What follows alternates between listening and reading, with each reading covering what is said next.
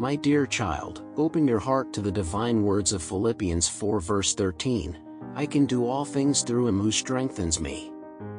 Let this verse ignite the flame of hope within you.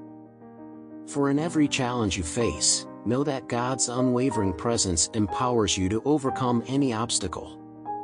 Embrace the journey ahead with courage, for you are not alone. With God by your side, you possess the strength to achieve the extraordinary. So, believe in yourself and remember, you are destined for greatness through His divine grace.